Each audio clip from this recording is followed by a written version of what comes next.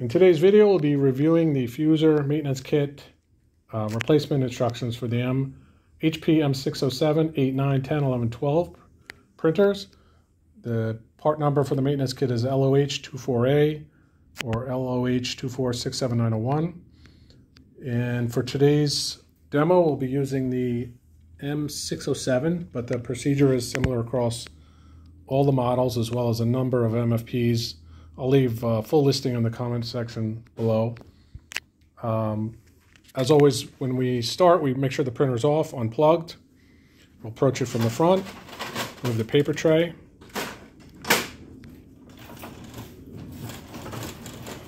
And then pull down the rear access door.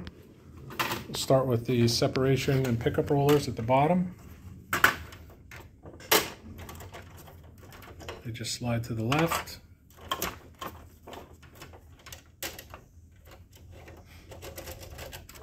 And reverse the procedure to reinstall. Now this maintenance kit contains uh, one transfer roller, two separation roller assemblies, and two pickup roller assemblies, and one fuser.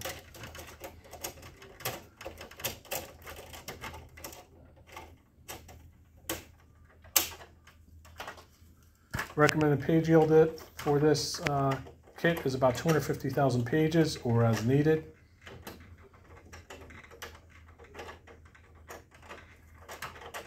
And this fuser is available, or kit and fuser is available a number of different options, OEM new, uh, reman outright, reman exchange. Just visit metrofuser.com.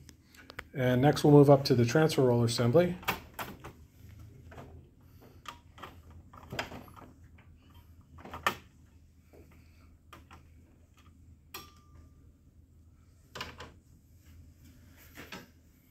And reverse the procedure to reinstall.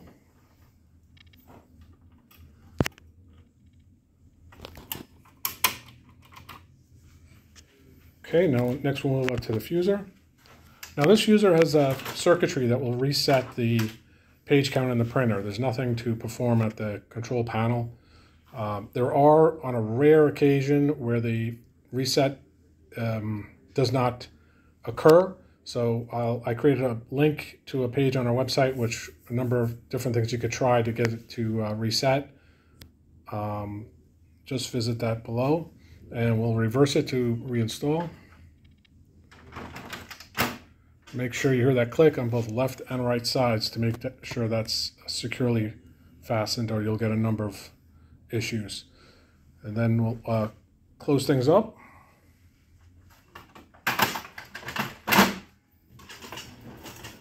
And you are all set. If you have any questions, you can visit us at our website. We also have a number of printer diagrams, error code solutions. Uh, just uh, come on down to metrofuser.com. Thanks for watching. Please click like and subscribe. Have a good day.